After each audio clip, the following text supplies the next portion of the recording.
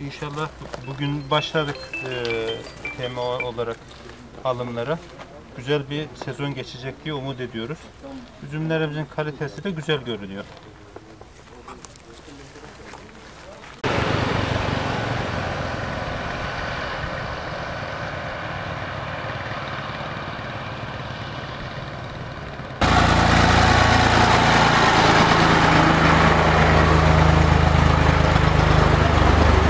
Gelmiş yatıyor.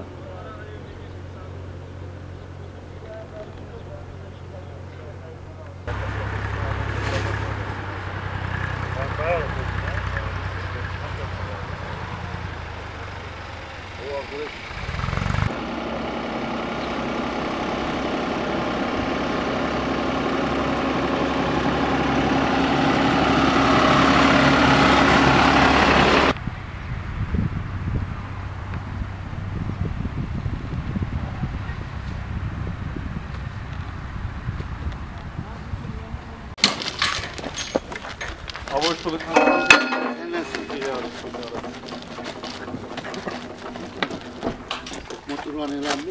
Hep randevu mu bunlar? Randevusu Sumuk Emek Millet. Ben de aldım. 30 kilometre.